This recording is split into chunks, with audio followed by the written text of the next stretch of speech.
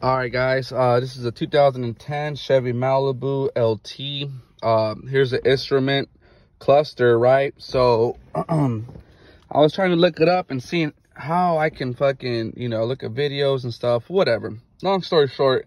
So what I did was all, so the first thing I did was I came to the side right here and right here they had like a little cover. So I popped that cover out and there's one, two, three, this one, four, five bolts that you have to remove. Once you remove that, in the bottom right here, there's one, two, sec two bolts.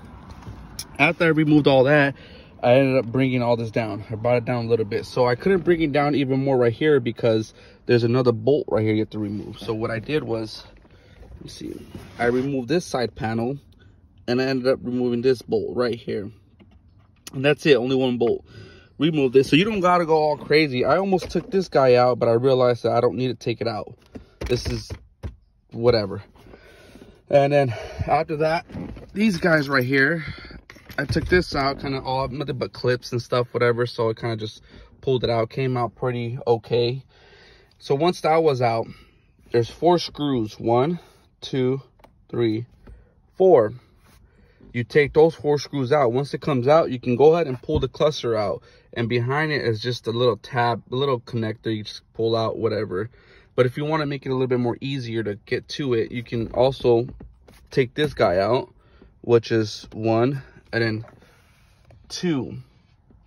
You can do that and just take remove the top guy and makes it more easier. But um, I figured that, you know, I can kind of work my way through it, which was pretty good.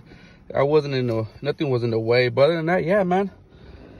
Uh, and another thing, if you guys are going to replace the cluster, just know that, um, if your old cluster had, let's just say, for example, 150 miles, 150,000 miles, and let's say you get a new cluster that has 80,000 miles, your car is going to be saying it's going to have 80,000 miles instead of 150. So you would have to replace that, take that to the dealership, which I'm not gonna do.